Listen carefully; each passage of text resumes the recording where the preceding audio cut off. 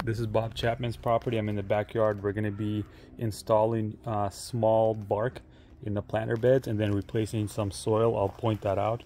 So all of these planter areas, about four cubic yards, we'll need to um, install the bark. And then um, there are some bags of soil right there.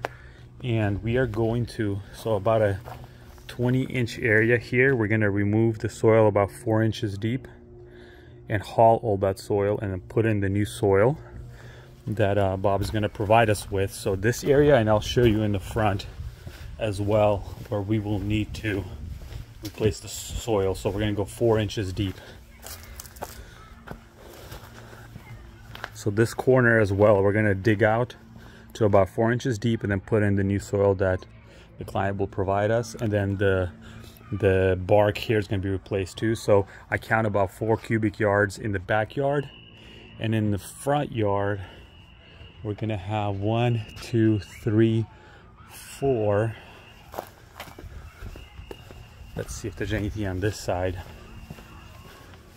Four yeah so four cubic yards in the front as well. So a total of eight cubic yards of the small bark installed.